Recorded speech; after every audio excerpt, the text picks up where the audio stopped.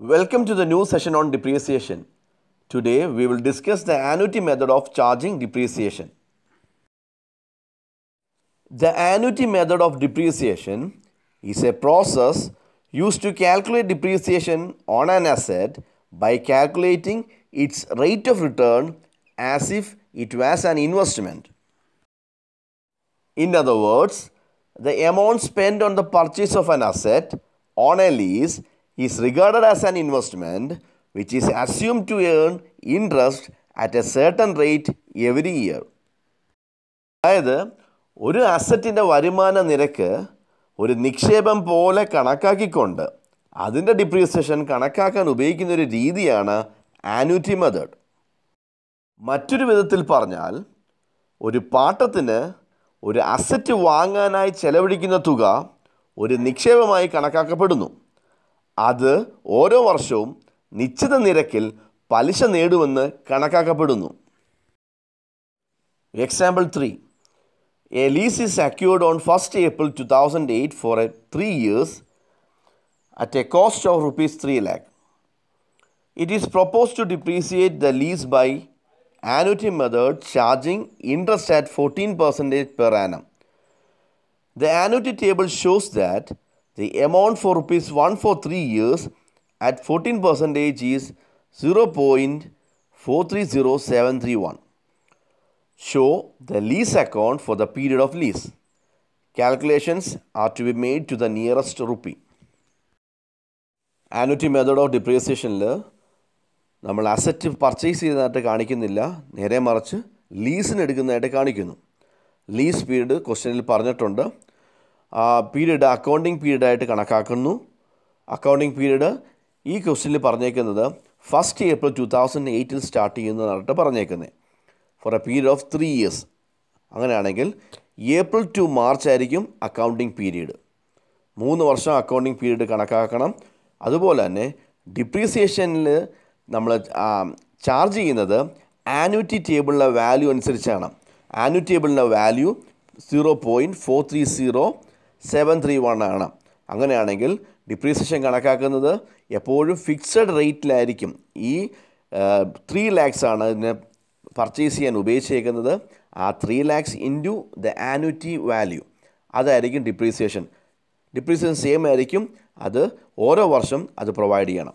രണ്ടാമത് fourteen percentage ആയിരിക്കും interest അത് അസറ്റിന്റെ വാല്യൂ അനുസരിച്ച് കണക്കാക്കപ്പെടുന്നു. ത്രീ ഇയേഴ്സ് കണക്കാക്കണം. ആനുറ്റി മെത്തേഡ് ഓഫ് പ്രൊവൈഡിങ് ഡിപ്രീസിയേഷനിൽ നമ്മൾ മെഷീനറി അക്കൗണ്ട് ഉണ്ടാക്കുന്നില്ല. അതിന് പകരം ലീസ് അക്കൗണ്ടാണ് ഉണ്ടാക്കുന്നത്.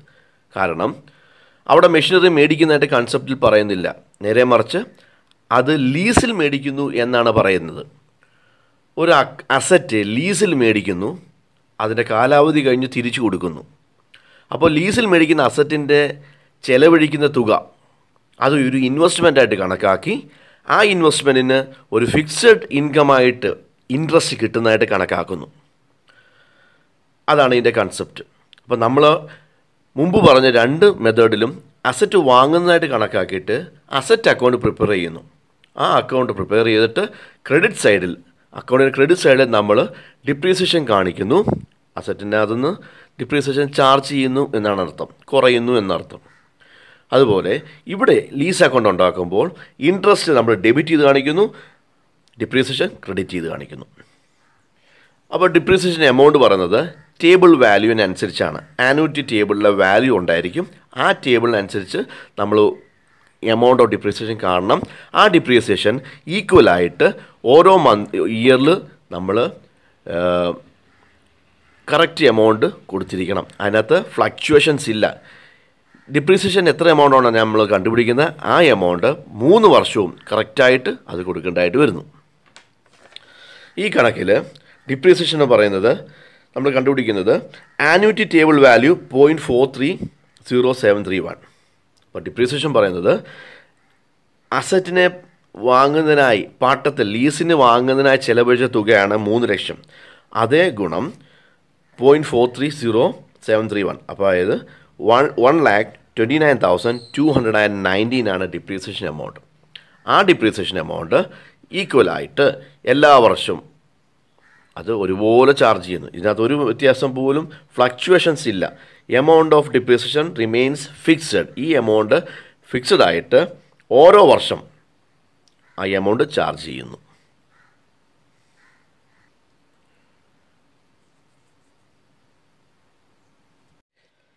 രണ്ടാമത്തെ കാര്യം നമ്മൾ ശ്രദ്ധിക്കേണ്ടത് അതിന്റെ അക്കൗണ്ടിങ് പീരീഡാണ് അക്കൗണ്ടിങ് പീരീഡ് ഒരു വർഷമാണ് കണക്കാക്കുന്നത്. നമ്മുടെ അക്കൗണ്ടിൽ മെഷീനറി ലീസിന് മേടിക്കുന്ന date one four two thousand eight ആണ്. അങ്ങനെയാണെങ്കിൽ ആ അക്കൗണ്ടിങ് പീരീഡ് എൻഡ് ചെയ്യുന്നത് thirty one three two thousand nine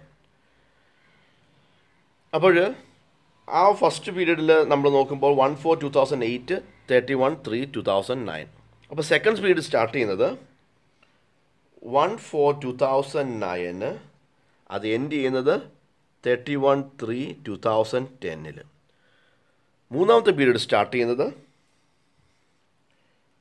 one four two thousand ടെന്നിൽ അത് എൻഡ് ചെയ്യുന്നത് thirty one three two thousand ഇലവനിൽ ഇങ്ങനെയായിരിക്കും അക്കൗണ്ടിങ് പീരീഡിന്റെ നമ്മൾ കണക്ക് കൂട്ടുന്നത്. ഇത് മൂന്ന് വർഷമാണ് പറഞ്ഞേക്കുന്നത് ലീസിന്റെ ആ മൂന്ന് വർഷവും നമ്മൾ മനസ്സിലാക്കുന്നു അക്കൗണ്ടിങ് പീരീഡ് എത്രയാണ് ഒരു വർഷം starting from first April ending thirty first March every year നമ്മൾ ഇനി അക്കൗണ്ടിലേക്ക് കടക്കുന്നു. ഇപ്പോൾ ലീസ് അക്കൗണ്ടിൽ നമ്മൾ ആദ്യമായിട്ട് അസറ്റ് ലീസിന് വാങ്ങുമ്പോൾ നമ്മൾ മെഷീനറി വാങ്ങുന്ന അതേ എൻട്രി തന്നെ lease account at to bank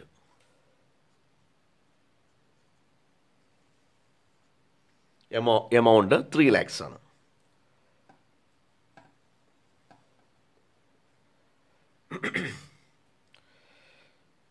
നമ്മൾ ഈ എമൗണ്ട് എഴുതിയിട്ട് അപ്പം കൺസെപ്റ്റ് പറയുന്നത് ഇത് ഇൻവെസ്റ്റ്മെന്റ് ആയിട്ട് കണക്കാക്കുന്നു. ഇൻട്രസ്റ്റ് കിട്ടുന്നു. അതുപോലെ ഡിപ്രീസിയേഷൻ കണക്കാക്കുന്നു. അങ്ങനെയാണെങ്കിൽ ഇൻട്രസ്റ്റ് കിട്ടുന്നത് വർഷത്തിന്റെ അവസാനമായിരിക്കും. അതായത്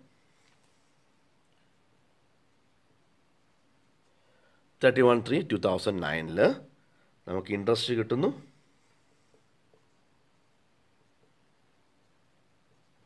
ടു ഇൻട്രസ്റ്റ് അത് ഏതിന്റെ ആയിരിക്കും ത്രീ ലാക്സിന്റെ ഫോർട്ടീൻ പെർസെന്റേജ് അതായത് ഫോർട്ടി ടു തൗസൻഡ് നമ്മൾ ടാലി ചെയ്യുന്നു. Three lakh forty two thousand ആണ്.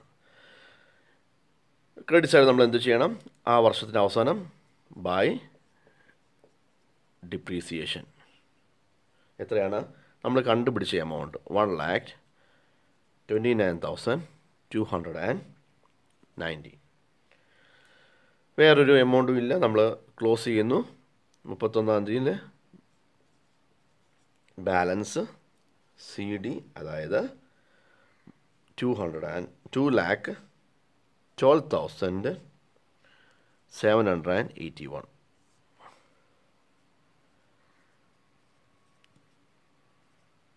account tally ചെയ്തു balance C D next account പീരിയഡിലേക്ക് അത് ബ്രോഡ് ഡൗൺ ചെയ്യുന്നു.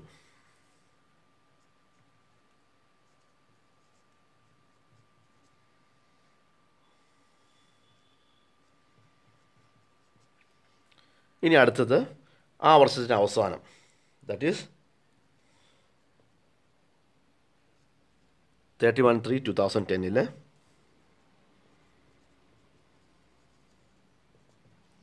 ഇൻട്രസ്റ്റ് കിട്ടുന്നു ഏതിന്റെ ബേസിലാണ് two hundred and twelve seven eighty വണ്ണിന്റെ twelve fourteen percentage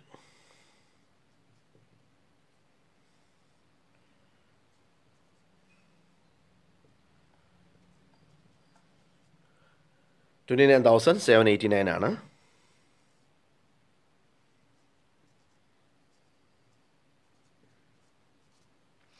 ആ വർഷത്തിന് അവസാനം നമ്മൾ ഡിപ്രീസിയേഷൻ പ്രൊവൈഡ് ചെയ്യുന്നു. ഡിപ്രീസിയേഷൻ സെയിം എമൗണ്ട് തന്നെ. One lakh twenty nine two hundred and ninety ആ വർഷത്തിന്റെ balance balance C D one lakh thirteen thousand three hundred and fifty one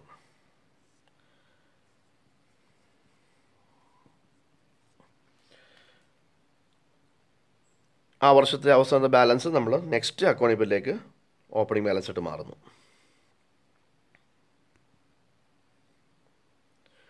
balance B D കാണിക്കുന്നു.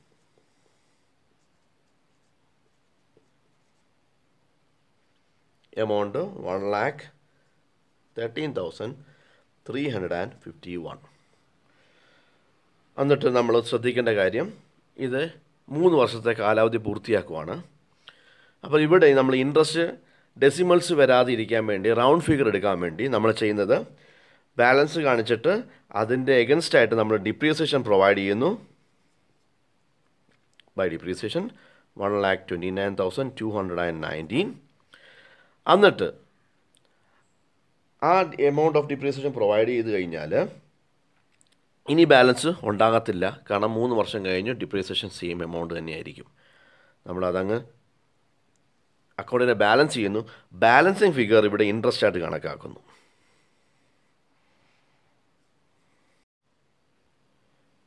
Accounting പീരീഡിൽ എൻഡിൽ നമ്മൾ അക്കൗണ്ട് ടാലി ആക്കിയിട്ട് അതിന്റെ ബാലൻസ് ഫിഗർ ഇൻട്രസ്റ്റ് ആയിട്ട് കാണിക്ക കണക്കാക്കുന്നു. കാരണം ഡെസിമൽസിന്റെ ഒരു വ്യത്യാസം വരാതിരിക്കാൻ വേണ്ടി എമൗണ്ട് നമ്മൾ റൗണ്ട് ഫിഗറായിട്ട് ഇൻട്രസ്റ്റ് ഇട എടുക്കുന്നു. ഇതാണ് ആനുറ്റി മെത്തേഡിൽ ഡിപ്രീസിയേഷൻ പ്രൊവൈഡ് ചെയ്യുന്ന രീതി.